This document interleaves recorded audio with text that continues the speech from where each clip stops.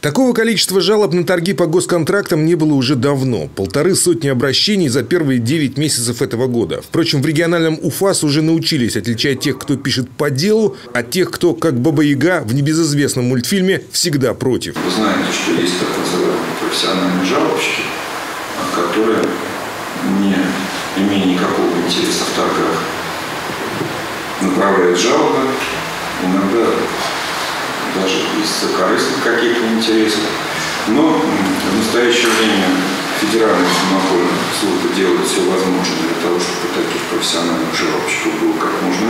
Впрочем, среди обращений есть и такие, на которые, по словам Юрия Гребнева, реагировать нужно обязательно. Одна из медицинских организаций опубликовала обращение к рязанцам с заверениями о том, что от мобилизации и призыва можно, что называется, законно откосить. Дескать, найдем у вас любые болезни. За деньги, разумеется. Региональный УФАС тут же возбудил дело. Но самая большая плата была э, за пакет услуг, который рекламодателем был назван «Последний шанс».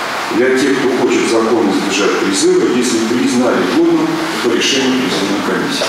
Э, Все-таки антимонопольный орган посчитал, что реклама в данном конкретном случае побуждает к совершению противоправных действий и посчитали эту рекламу ненадлежащей. Признали, что данный хозяйствующий субъект, который оказывает такие услуги призывникам, нарушил федеральный закон о рекламе и было выдано соответствующее предписание. Антимонопольное ведомство по-прежнему мониторит рынки продовольственных и непродовольственных товаров. Пока что серьезных нарушений вроде как нет, но мы напомним, что в прошлом году дело возбуждали по резкому скачку цен на так называемый борщевой набор – капусту, морковь, свеклу и картофель.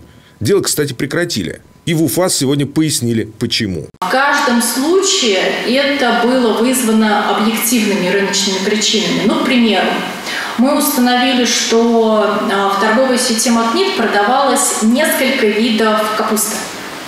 Капуста старого урожая и капуста нового урожая. И вот на капусту нового урожая торговые наценки были существенны.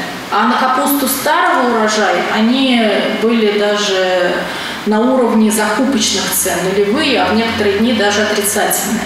Такая история длилась не более пяти дней, и сеть их устанавливала для того, чтобы реализовать капусту старого урожая. Это объективное поведение хозяйствующего субъекта в данном случае. У потребителя был выбор, какой товар купить. Как показала проверка, та же история была и с картофелем. Морковь и вовсе в цене росла только день. В общем, говорят, в УФАС рынок есть рынок. Но теперь у крупных ритейлеров есть своеобразный ярлык, доминирующий на рынке. А значит, спрос с них будет особый.